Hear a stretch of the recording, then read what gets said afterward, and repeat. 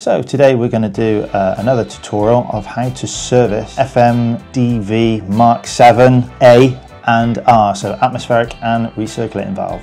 This process which we are going to show you is relevant to all Forge electronically controlled solenoid valves using the TAT body.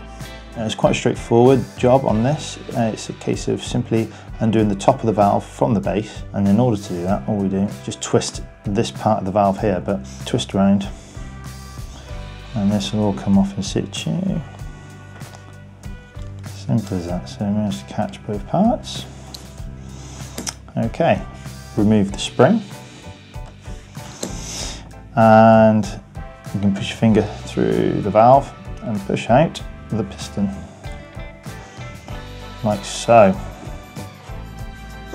So now, once we have this disassembled, you will see we have an o-ring at the top which seals the base to the lid. And we have two internal um, o-rings which seal the piston as it slides up and down. So there's many different tools you could use. So I tend to try and use um, tweezers to try and pick out the o-rings. Don't worry about damaging these o-rings because you're going to replace these in the new fitting kit. Or you can also use your fingernail like so start to push it, the O-ring, and then very fine O-ring, so you've got to be very careful, very gentle with that one. Um, and now the internal O-rings, again, these are fiddly to remove, but with tweezers, they come off not too bad.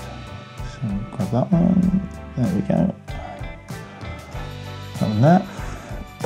Now, using some tissue paper, just clean out all the old grease that'll be in there. I mean, this is a brand new valve, but after it's been used a fair while, after a few years, we recommend this every three years or 20,000 miles. Just worth replacing those O-rings, clean out all the contaminants, and your valve body is now ready for new O-rings. The service kit needed for this valve is FMDVSK, FMDVMK7A, However, we offer a service kit for all our valves, which can be found on the drop-down menu on the Forge website. Contents of this kit are as follows. You have a bag of O-rings, we have a pot of grease, and we have a new piston. First is replace the O-rings for the piston and the valve top.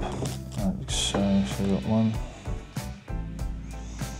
two, three, four, five. So we'll start off with the two internal O-rings and this can be a little bit tricky. So I always suggest doing the bottom one first and just slowly push it down so it sits in the groove like so and then grab the second one.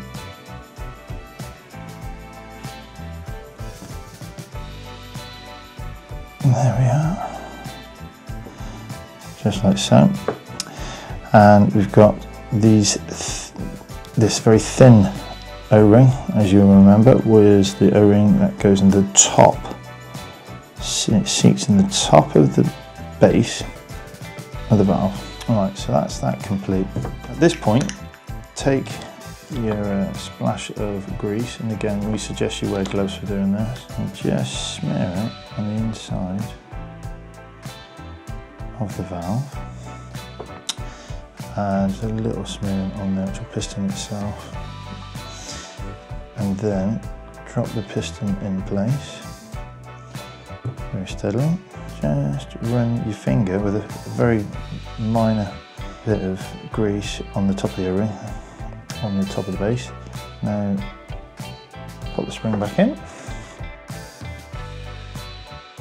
and gently I would suggest pushing down slightly on the spring with the body top and just do the valve back up nice and gently.